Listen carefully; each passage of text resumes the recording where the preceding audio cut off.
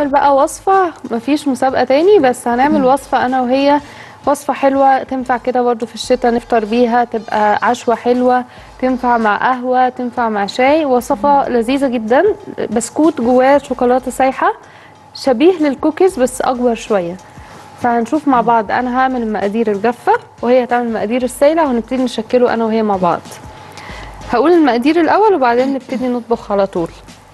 عندي بسكوت ال chips chocolate chips المقادير بتاعته مقادير السايلة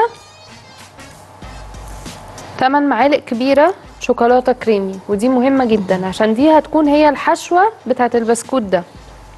نص كوب زبدة نص كوب سكر معلقة من الفانيليا السايلة بيضة.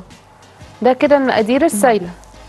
عندي المقادير الجافة رشة ملح واحد وتلت كوب دقيق معلقة صغيرة baking soda سبعة جرام نشا كوب chocolate chips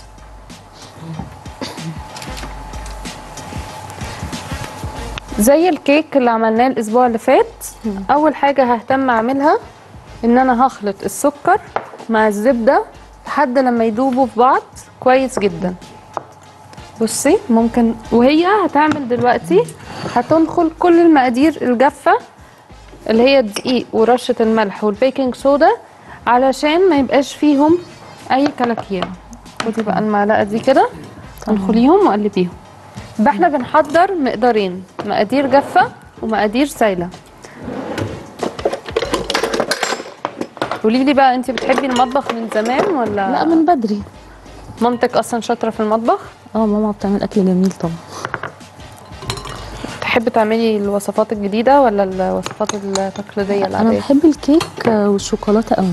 ممكن تعلي صوتك بس شوية عشان الناس تسمعك. بحب الكيك والشوكولاتة يعني أكتر حاجة بحبها الكيك والحاجات اللي فيها شوكولاتة. أيوه. الحلويات ال dessert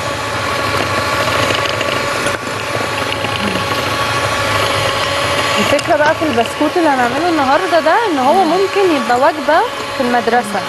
بيبقى حجمه كبير شوية. بيكون. حلو جدا. ممكن يكون خلصتي؟ آه. قلبيهم بس كده. يبقى هي دلوقتي نخلت عملت بالمنخل الدقيق مع البيكنج صودا مع رشة الملح. أنا دلوقتي بعمل إيه؟ عندي زبدة. المفروض تبقى دافية شوية عن كده. المفروض تبقى بدرجة حرارة الغرفة شوية عن كده. فهتبقى صعبة معايا شوية في الضرب لحد ما تعمل لي سائل كريمي كده شوية.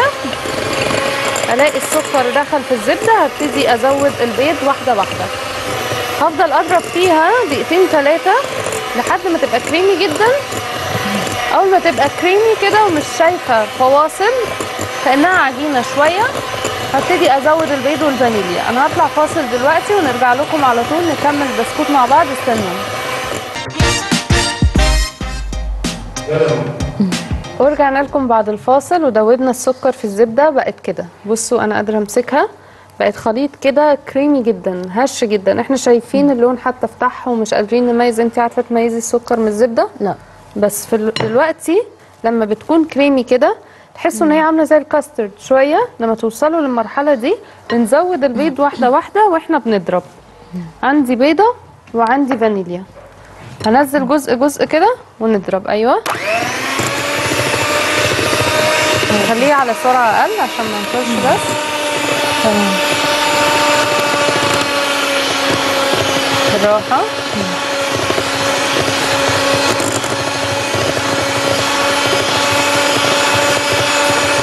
ليه بننزل كده؟ علشان يعني نساعد إن الضرب يكون ملموم أكتر. الحاجة تدخل في بعض أسرع. هو في أقل من كده؟ لا هو كده. تمام؟ جمعي كده الفنجانات يبقى إحنا دوبنا السكر مع الزبده وقلنا تبقى الزبده بدرجه حرارة الغرفة أحسن عشان تتضرب أسرع وتبقى كريمي أكتر. لحد ما عملت معايا خليط كريمي كنت بفردها كده. قدرت أفردها يبقى هي جاهزة إن أنا أنزل بالبيض. بحط البيضة بتاعتي وبحط الفانيليا السايلة. كل ما بتبقى الفانيليا سايلة مش بودرة. دايما بقول لكم كده بتدي طعم أقوى جدا في أي حلويات هتعملوها.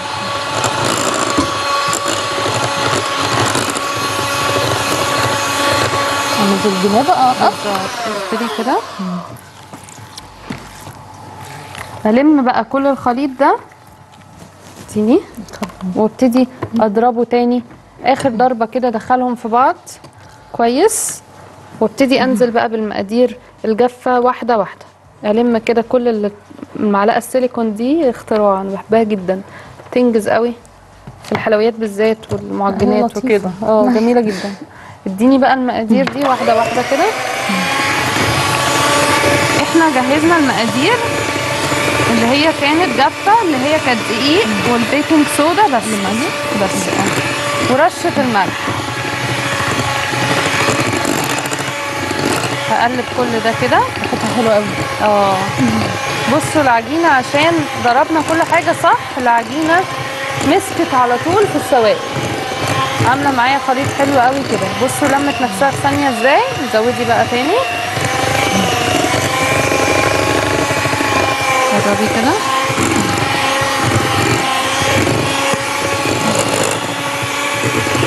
بنفضل آه بنفضل نضربها كده في اتجاه واحد.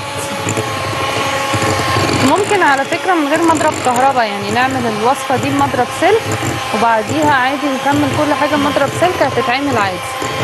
بس ده الأسرع. بصوا العجينة بدل قادرة تعمل لكم كلكوعة كبيرة كده ومسكت على طول زي عجينة البيتزا كده. لما المقادير بتروح عاملة الخليط الكريمي كده يبقى إحنا وصفتنا كده إيه اتضربت صح جدا جدا. حلو قوي كده. هلبس بقى جلوفز وابتدي انزل كل اللي في المضرب ده علشان أستغل كل المقدار ونتكلم عن الحشوة. هنعمل إيه في الحشوة؟ عندي دلوقتي شوكولاتة كريمي. بصوا كده الكاميرا تجيب لكم.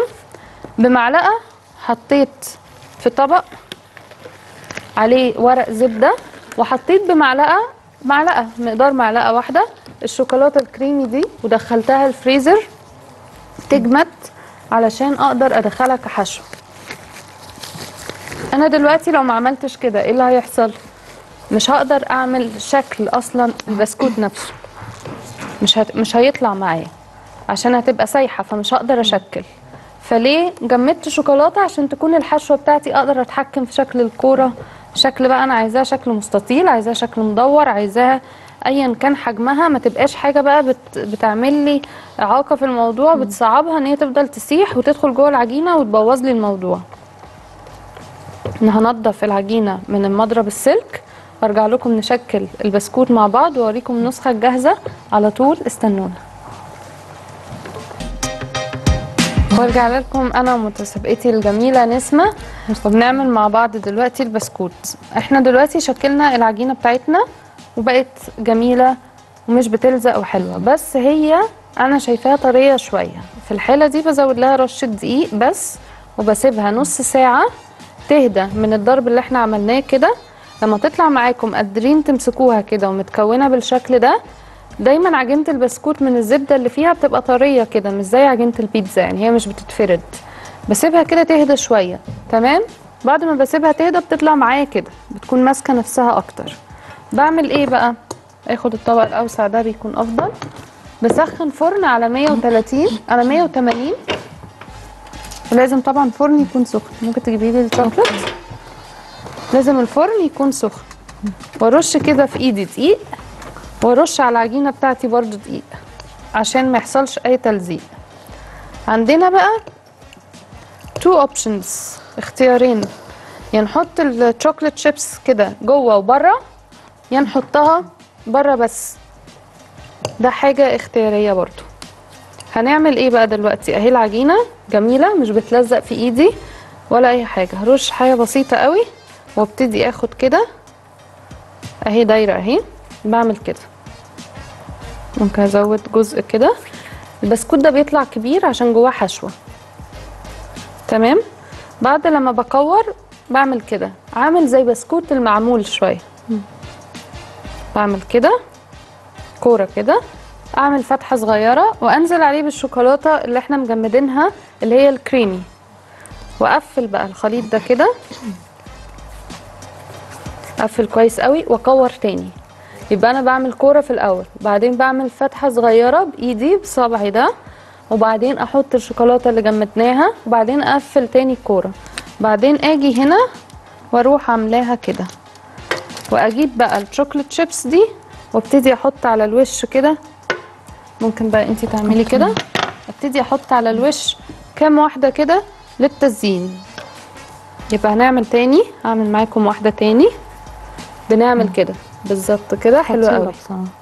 تبقى بقى هايلة إن تبقى الشوكولاتة سايحة من جوه والعجينة كده من فوق بتعمل شكل بسكوت حلو قوي فبتبقى بسكوت بالشوكولاتة سريع جدا.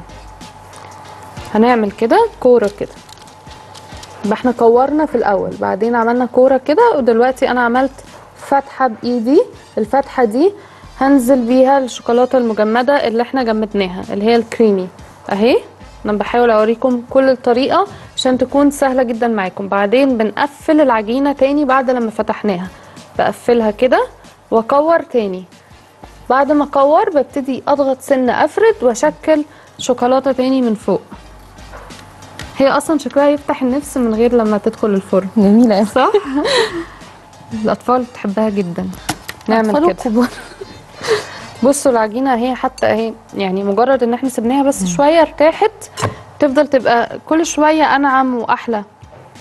المفروض بقى ان أنا قبل لما ادخل العجينة دي الفرن المفروض ان أنا اسيبها 15 دقيقة تهدى تاني بعد لما حشيتها علشان تطلع معاكم الشوكولاتة سايحه من جوه حلو وتكون الشكل بتاعها حلو. البسكوت ده بسكوت حجمه كبير شوية مش صغير.